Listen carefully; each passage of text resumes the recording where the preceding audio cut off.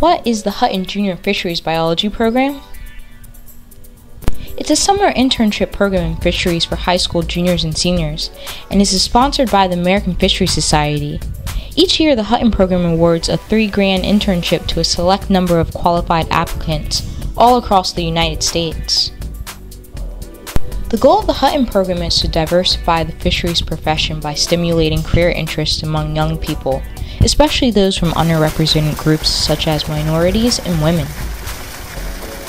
In Hutton program internships, students are mentored by fisheries professionals while getting exciting hands on experience in a marine freshwater setting. Students assist mentors with important conservation projects in habitat restoration, protection, and management. Mentors educate students about conservation issues and the importance of healthy aquatic systems. Students learn about the exciting world of fisheries science, what being a fisheries biologist involves, and of the career opportunities in the field. The Hutton program inspires young people to become fisheries professionals and is changing the face of the profession by introducing women and minorities to fisheries science and management. Check out what these students had to say about how their Hutton internship sparked a desire to pursue a career in fisheries.